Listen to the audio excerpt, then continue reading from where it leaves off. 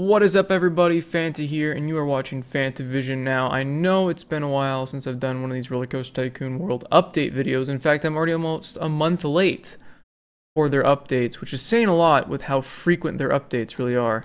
Um, I missed one update in over a month of not doing this. So, they've basically, let's go back real quick. They've basically just done holiday updates, and they just add a whole bunch of garbage that nobody cares about.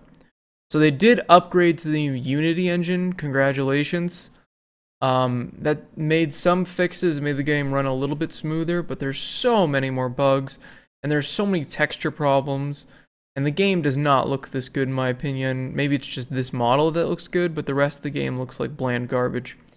So we're looking at the Valentine's Day update here. What does it bring? Does it fix the game? Let's find out.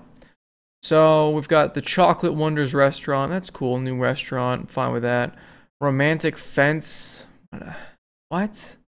Romantic fence end. Okay. Romantic couple statue. This stupid looking thing. Woman's got wings for some reason. Not really sure what's going on there. Um, lovely heart light. Romantic light. Decor birdhouse. Romantic bench a lovely trash can. Okay. A chocolate box trash can. I feel like a chocolate bathroom would be more appropriate. Uh, a swan fountain. The problem with most of these assets they added to the game is that this kind of crap, um, this is all very holiday themed. And the problem with holiday themed stuff is you're only going to use it during the holidays. Like when you want a romantic bench or a lovely trash can or even a chocolate box. I guess chocolate box you could do like in the kind of like fantastical or kitty area. Um, Swan Fountain could have its uses. Chocolate Wonders restaurant's pretty neat, but the rest of it is just kind of garbage. Um, I guess the birdhouse is, I think I said that already. Anyway, uh, let's look at the bug fixes. This is really what needs to be done with the game. Nobody cares about these new assets they're adding. I mean, there's not even a new ride that they added. They added a restaurant, and that's basically the only thing of note that they actually added to the game. What do they fix? Uh, blocker, game gets stuck in an infinite loading when returning the main menu from mission 1-1. So that means... so that means uh, it was a problem that the first mission of the campaign, the very first mission would freeze people. So that was some people's very first impression of the game. That's great. Uh, at least they fixed that. That's good. I never had that problem, but that's good they fixed it. Um, invisible autocomplete node. I don't know if I ever had that problem. I did have problems with the autocomplete being stupid, and then trying to edit the autocomplete was a pain in the ass. Uh, crashed. Mission 1-1 again. Look at that. Um, game hangs after deleting a medium or large path that clips through the limit fence, changing the path. What? Okay. Uh, screen briefly turns white first time selecting a heat map filter. It's not a huge bug, but it's nice that they fixed it just to keep transitions smoother. Grammatical errors, that's pretty funny.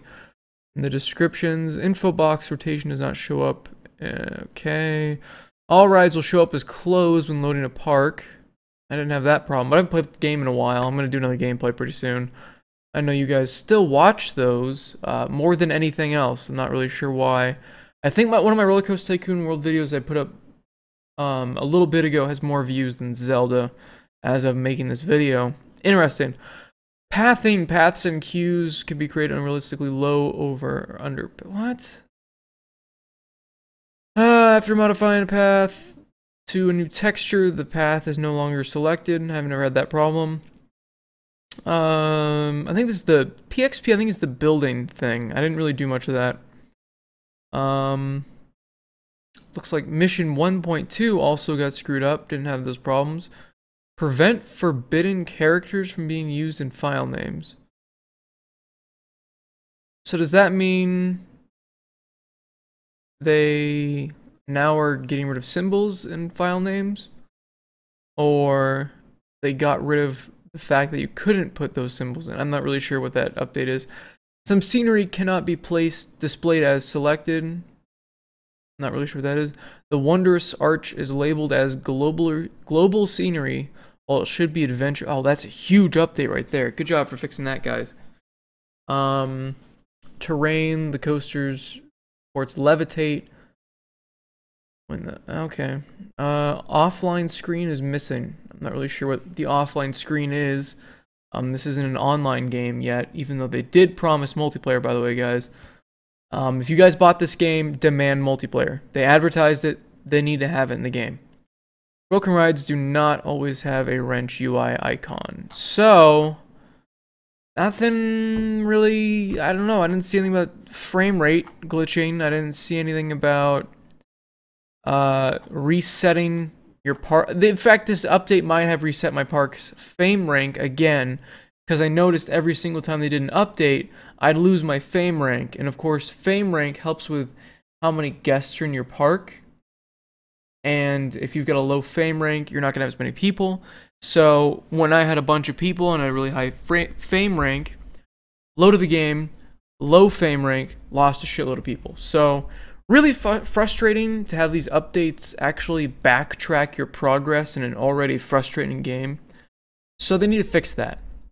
And yeah, I need to play this game again to see what else they need to fix. Because quite frankly, I don't remember all the problems. It's it's been a while since I've played this game, and it's I haven't missed it. Gonna be honest. I haven't played Planet Coaster in a while either. That game's fun, but I just I don't know. I've been playing Zelda, and that's about it. Breath of the Wild so much fun. And then, of course, uh, Horizon Zero Dawn.